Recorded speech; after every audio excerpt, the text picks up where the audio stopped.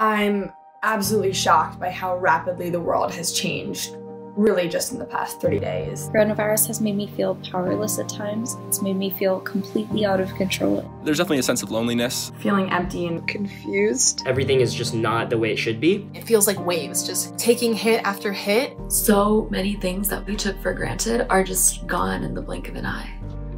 We realized that actually a large portion of the world was suffering from the same issues of information overload, of conflicting facts, of a sense of despair and hopelessness as to what are the right steps to take. We began searching for ways that we could do more to help. So we connected with TeachAids and talked to the advisors there, and they had some ideas brewing.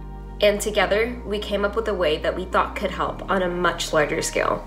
We started reaching out to people who we thought might want to join us. I called up Nick, Shravya called up Jason, we called up Sarah, Trey, Pranavi, Manor, Alex, Lauren.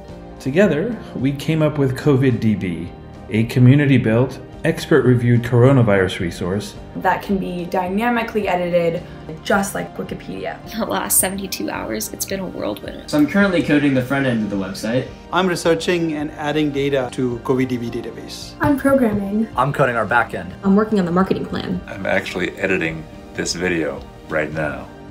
The situation with coronavirus is changing every day. In a time of such uncertainty, we all want accurate, up-to-date information. If there's one thing the internet is good for, it's having a lot of that aggregated information. If there's one thing it's horrible for, it's distilling correct information and putting that to the top. We all have questions we want answers to, and issues that we need to research. Our hope is that CoviDB will help you do this.